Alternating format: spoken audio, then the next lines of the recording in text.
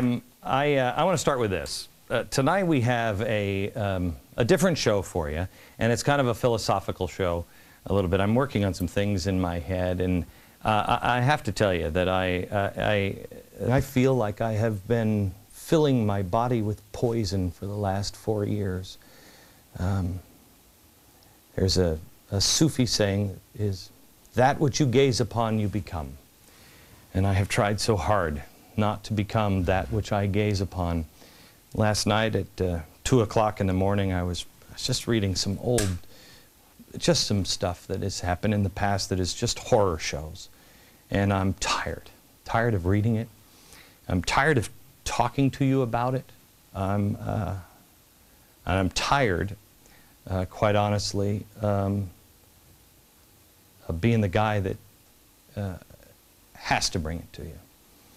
Um, it's poison. It's poison.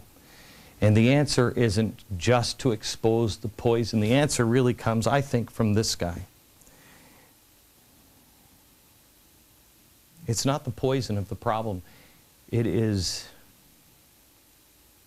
the connection of really where I started here, the 912 project. It is the, um, the values and the principles that make us great. It is the, it is, it is the reaching out of the slime and trying to grab for something higher.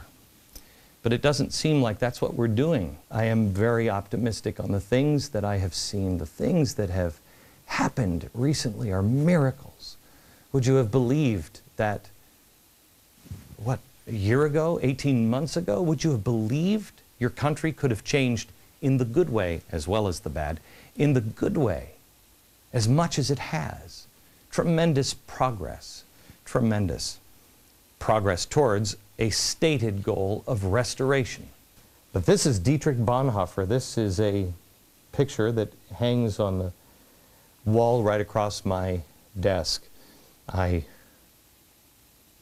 fill my body with so much poison in the images and the words and everything else that I see that I have taken everything out of my office and replaced it with just goodness and courage and things that I want to become.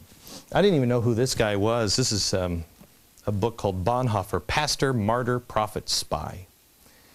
I've only read a few bits of it. I haven't, uh, I haven't read all of it yet. I haven't had time because I'm trying to study this guy. But I, I picked it up the other day because coincidentally, the guy who wrote this book um, bumped into me the other day, actually bumped into one of my staff members and my staff member came to me and said, you really have to talk to this guy. He said, I, I don't think, Glenn, you really, really understand. You guys are meant to talk to each other. And uh, I said, that I, I will, I will, I will. I, I'll get to that. I have to get to that. Because what this man did, this is a guy who was a Lutheran minister in Germany. And he was really one of the first guys to see it. And he was one of the first guys to say, hey, we can't do that to the Jews. Um, it, as soon as um, uh, the chancellor was named as Hitler, um, he stood up and he warned and he said, look, we, we can't do this, we're changing. And the reason why he really warned is because God was being lost. You have to understand, Germany was a very God-centered place, but it was kind of a, he talks later in life when he was in prison and they were torturing him. Um, uh, he talked about, uh, we need a, I think he called it a, a churchless religion or something like that. And the, um, the left always tries to twist that into, see, he's a social justice guy. He's... No, he wasn't. What he meant by that was, in Germany, everything was so stiff, and everything was by the book and by the rule, and all of the people that were behind the pulpit um, just said, don't worry about it.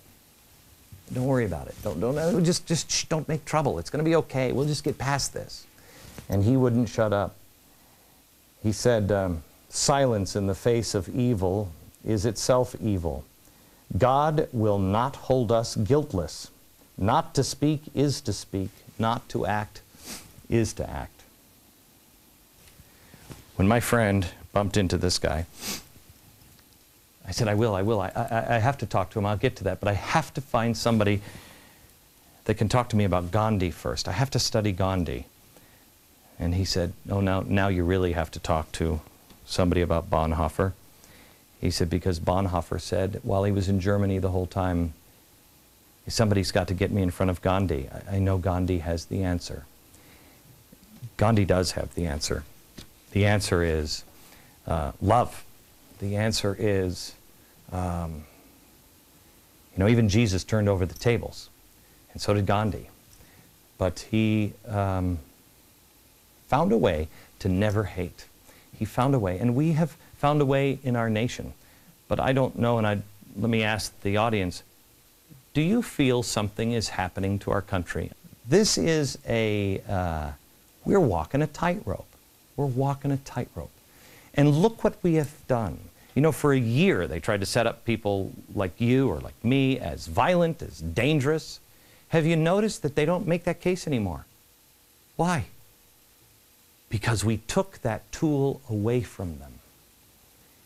We took that tool away from them. You stood and you were who you were. You stood and you weren't angry and you weren't uh, dangerous and you weren't threatening people. And then 828 happened. They can no longer make that case that you're dangerous, hateful, or out of control. You just have to take the tools away one at a time and, and then uh, let them destroy themselves. Before we start, because uh, I want to just have a conversation with the audience here, and I, I, I want to have a one-on-one, because honestly, um, I spent a lot of time in New York, and New York is a weird place.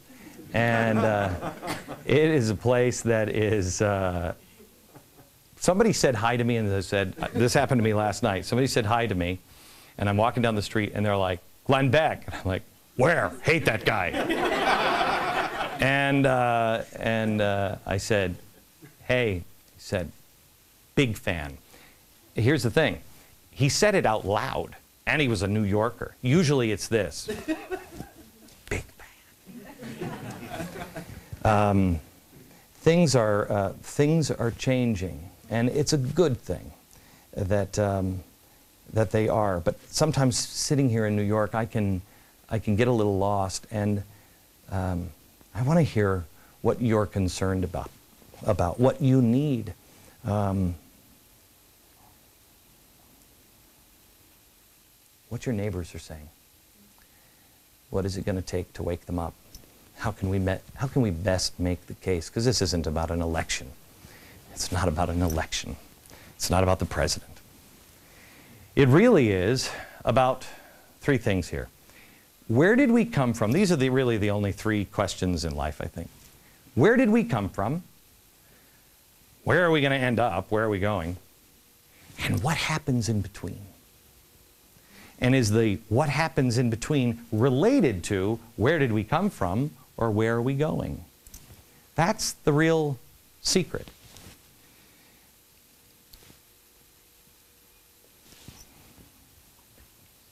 What is the natural order of things? Is it this? Ronald, come here for a second. What is the natural order of things? Tyson, you come here for a second. My staff was paid handsomely today to put these all like this. Now for free, Ronald and Tyson. Just start to shake. You don't have to shake hard. Just keep just keep shaking.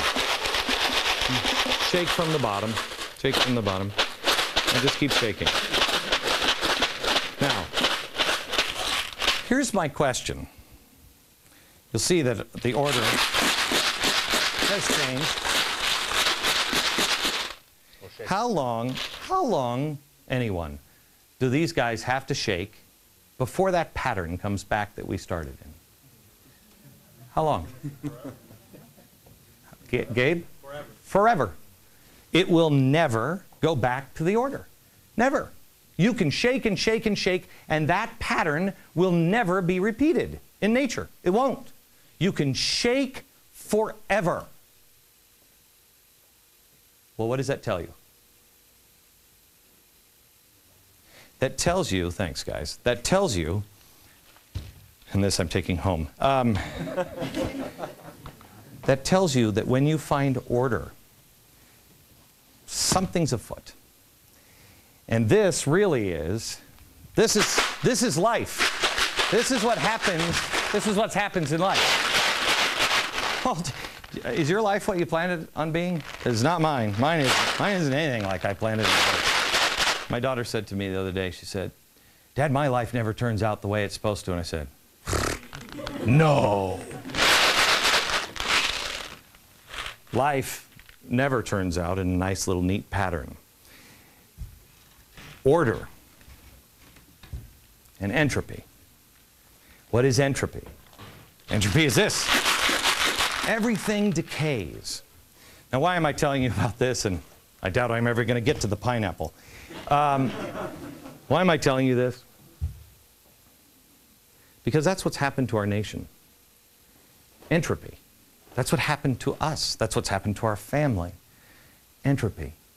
It's natural. It's, it's spiritual gravity. It just, it just pulls you apart. It's honestly, it's why you don't want to see me with my shirt off, because after a while, everything just goes. It just decays. That's what life is all about, really. It is the endurance of the decay. So, how does that how does that relate?